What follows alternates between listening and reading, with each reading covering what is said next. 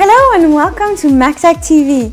We're here to present you the new collection of Jovani Couture stand number 1005. This dress is absolutely gorgeous. I love the color and it's very, very flowy, like a lot of dresses of this new collection. Uh, flowiness is really in, so and romantic.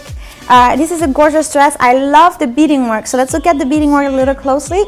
Uh, as you can see, it has different type of beading. I love this little, it looks like um, little drops of water, crystals. It's very pretty on the dress. And then you have AB crystals, you have uh, beading, you have crystals, and you have uh, some uh, beads, some silver beads on it. Uh, what's great about the dress is how it's actually going here onto, you know, points onto the sides of the dress. It makes you look really teeny tiny. So no matter what size you are, this is a great dress to go with. Um, I want to show first. Uh, I want to show first the front of that dress. The front of that dress has this opening right here, so you can really play with the dress. It's very very flowy.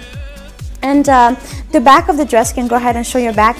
The back of the dress uh, has this invisible zipper onto the middle and also a nice train actually if you're not as tall as Nikki you will have a longer train it's very pretty dress it looks great on uh, the style number again is 1005 and uh, this is a new collection of Jovani Couture. You can find all tips about how to accessorize it, with what to accessorize it, where to wear this dress on www.macktakmart.com or call us. Thank you. Bye-bye.